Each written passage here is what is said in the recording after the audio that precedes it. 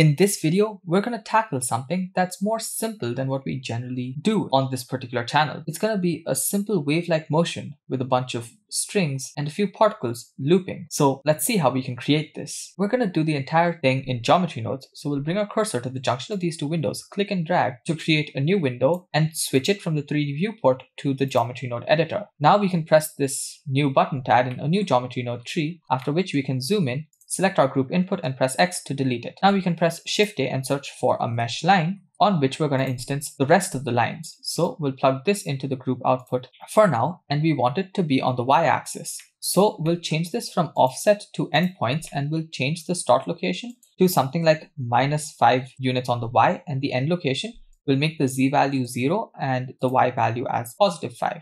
So now we have a line going from minus 5 to plus 5. However, we want more points to be present within this point, so we'll increase the count to something like 30 for now. Next up, we have to instance some more points on these points, so we'll press Shift A and search for instance on points node. And for the instance, we'll use another mesh line, so press Shift A and search for a mesh line and plug that in. Now all of them are pointed straight up towards the sky. We want them to be on the floor. So we'll just rotate it on the y-axis by 90 degrees and now they're all on the floor. Next, we also want these to have a fixed number of points. So we'll change it from offset to endpoints and we'll change the end location to a value of 10 and we'll increase the count to maybe 500 so that we can get a smooth motion when we actually add in the noise displacement.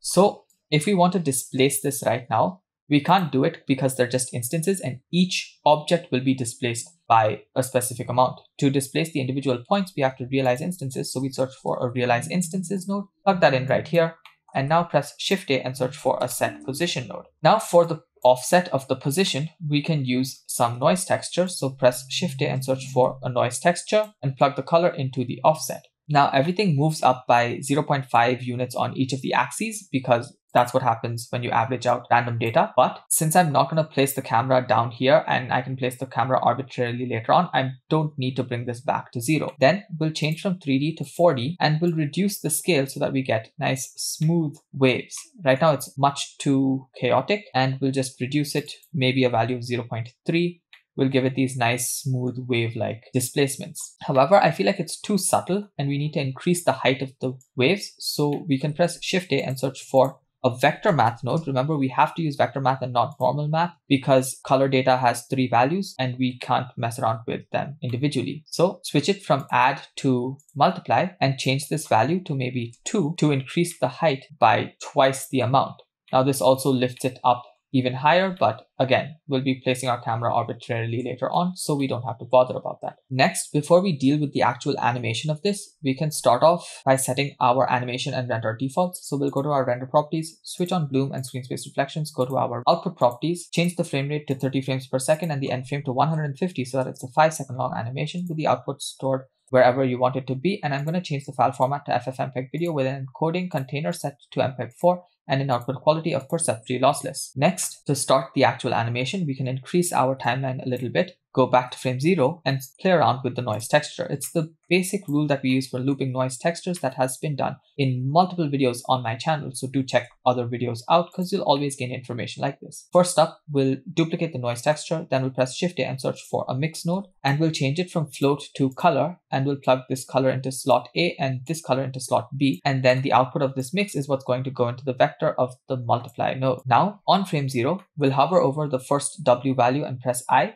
and we'll hover over this factor, change it all the way to zero and then tap I. And then for this noise texture, we'll change the W to something like one and press I. Then we'll go to frame 150, change this value to the negative of whatever value you kept over here. So we used one, so we're gonna make it minus one, hover over it and tap I, change this W value to zero and press I, and then change this factor all the way to one and press I. Now select all of the nodes. So shift select to make sure all of them are selected, then come down here and press T linear to make sure that it's a seamless loop. Now, if you actually play the animation, you should be able to see the waves moving around and creating this particular animation. If at all you feel like it's not moving enough, you can always change the max value of the W. So in this case, instead of having a W value of minus one, I'm going to keep the W value at minus three and press I and then go all the way to frame zero and change this W value to 3 and press I. So now if you play the animation, you should see some more motion happening. Now the frame rate drops quite a bit. So make sure you change the playback from play every frame to frame dropping so that you can see the actual speed at which the final animation is going to be rendered and play around with it to make sure that it's not too intense or too fast for your final render. So I'm changing the values to minus 1.5 and 1.5. Now that you're done with this part of the animation, you can set up the rest of the geometry node tree. So first thing is if you actually switch off overlays, we no longer can see these because they're not real geometry. To convert them to real geometry, the first thing that we have to do is press Shift A and search for a mesh to curve node and then search for a curve to mesh node. And for the profile curve, we can press Shift A and search for a curve circle. Now we can reduce the radius down to something like 0.01 and just plug this curve value into the profile curve.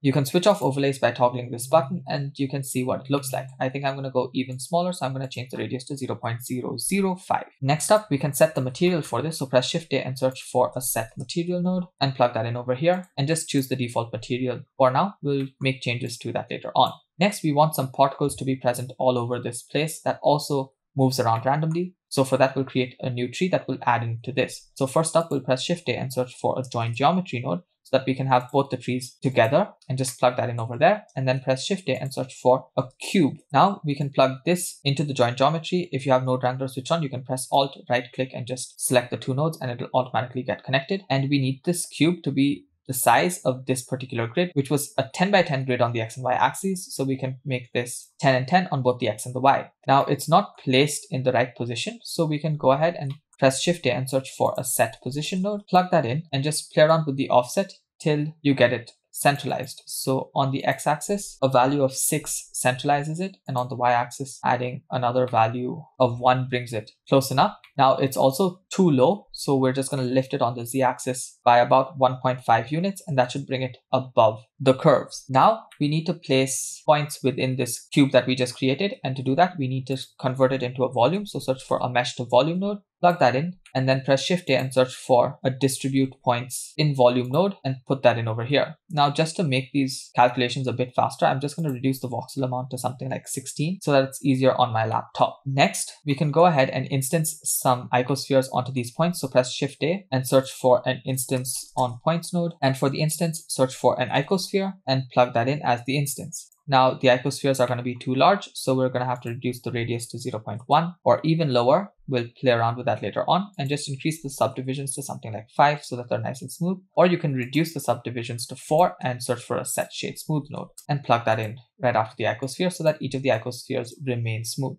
In fact, we can change the subdivisions to 3 as well. Now we can play around with the scale of these icospheres randomly to just add in some variation. So we press Shift a and search for a random value node, and we're going to use float itself so that we get the same value on all of these and they remain circular. Plug that in right there, and we're going to increase the min to 0.2, and maybe we can reduce the max to 0.8 so that the largest circles are just a little bit smaller. I'm going to go down to 0.7. Next, we want these spheres to actually move around randomly, so we can search for another set position node. So Shift A set position and because we haven't realized the instances, the spheres as a whole will move when we use the set position, which is exactly what we want. And now we can take the output from the multiply node, which was the looping motion, and plug that in to the offset of the set position from the points. Now our points are going to also move around randomly along with our base mesh. However, they also move up because of the randomness. So we can always go back to our first set position node after the cube and just bring that down on the z by a little bit. So in this case, I had to reduce it back to one. And now I think the spheres are placed where I want them.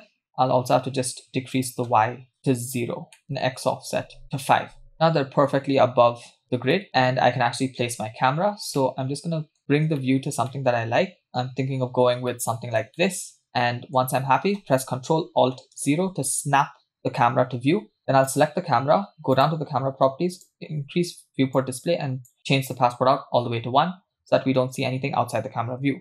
Now we can just grab it and move it on each of the axes separately till we just find the perfect position for it. And for now, I'll stick with this. I might change it a bit later. Next up, we can start with the material for our spheres. We have to add that into the geometry node tree. So after the set position, press Shift A and search for a set material node, plug that in, go to the material properties over here, press this plus button to add in a new material slot, add a new to add a new material and change this to spheres and select that from this set material and then select the original material and change that to strands. Now we can switch over from the geometry node editor to the shader editor and switch from the solid viewport shading to the rendered viewport shading to actually see what the materials look like. First off, for the strands, I'm going to increase the metallicness all the way to 1 and I'll keep the roughness at 0.5 itself. Then for the spheres, I'll increase the metallicness all the way to 1 as well and reduce the roughness down to 0.3. Next, I'm going to go to the world properties over here and just reduce this color down to black. And then I'll select the light, press Alt G to clear its location, then press GZ to grab it up,